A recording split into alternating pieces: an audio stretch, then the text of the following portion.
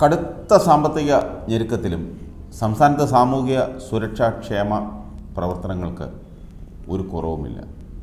എല്ലാവർക്കും പെൻഷനും പൊതു ആരോഗ്യ ചികിത്സാ സഹായങ്ങളും പിണറായി സർക്കാർ ഉറപ്പു നൽകുന്നു.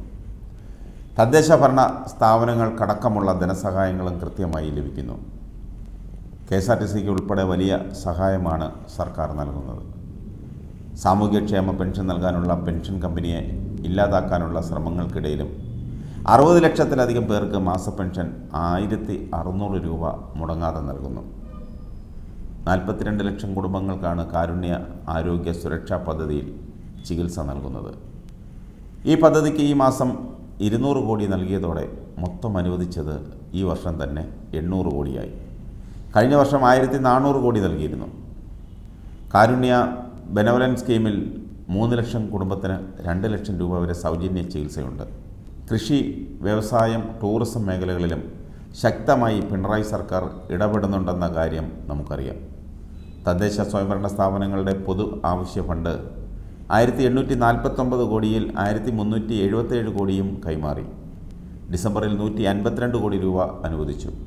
മൂവായിരത്തി ആറ് കോടിയുടെ സംരക്ഷണ ഫണ്ടിൽ മൂന്നാം ഗഡു ആയിരത്തി നാൽപ്പത്താറ് കോടിയും നൽകി.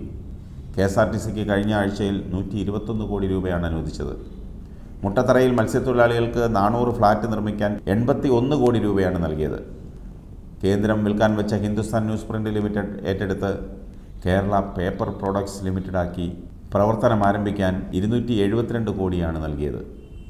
ഇരുപത് ലക്ഷം അഭ്യസ്ത വിദ്യർക്ക് തൊഴിലുറപ്പാക്കൽ ദൗത്യം മുന്നേറുകയാണ്. ഇതിന് തുടങ്ങിയ ഡിജിറ്റൽ വർക്ക് ഫോഴ്സ് മാനേജ്മെന്റ് സിസ്റ്റത്തിൽ മൂന്ന് ലക്ഷത്തിലധികം പേർ ഇതിനകം രജിസ്റ്റർ ചെയ്തു കഴിഞ്ഞു. നാലായിരത്തിലധികം സ്റ്റാർട്ടപ്പുകൾ ആരംഭിച്ചു. ഇവയ്ക്ക് ഇന്നൊവേഷൻ ഗ്രാന്റും സീഡ് ഇക്വിറ്റി ഫണ്ടുകളും നൽകുന്നുണ്ട്. സംരംഭക വർഷം പദ്ധതിയിൽ ഒരു ലക്ഷത്തിലേറെ തൊഴിലവസരം സൃഷ്ടിച്ചു കഴിഞ്ഞു. കഴിഞ്ഞ വർഷം നവംബർ വരെ മുപ്പത്തേഴായിരത്തി എണ്ണൂറ്റി നാൽപ്പത് പേർക്ക് പി എസ് സി നിയമന ശുപാർശ നൽകി. ബയോടെക്നോളജി നാനോ ടെക്നോളജി ഫാർമസ്യൂട്ടിക്കൽ മേഖലയിൽ നിക്ഷേപ സാധ്യതകൾ തുറക്കുകയാണ്. നാനൂറ്റി ഇരുപത് പുതിയ കാർഷിക ടൂറിസം യൂണിറ്റുകൾ തുറന്നു.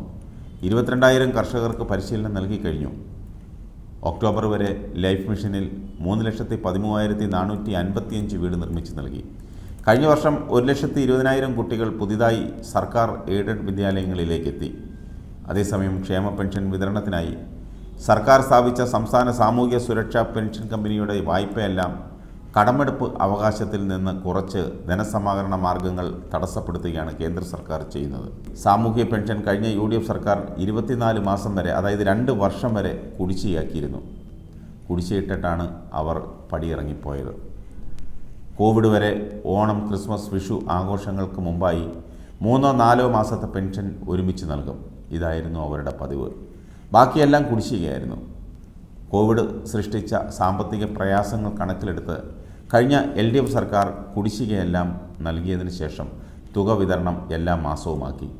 ഇതിന് പ്രതിമാസം ആവശ്യമുള്ള എണ്ണൂറ് കോടിയോളം രൂപ കണ്ടെത്താനാണ് പെൻഷൻ ഫണ്ട് കമ്പനി രൂപീകരിച്ചത്.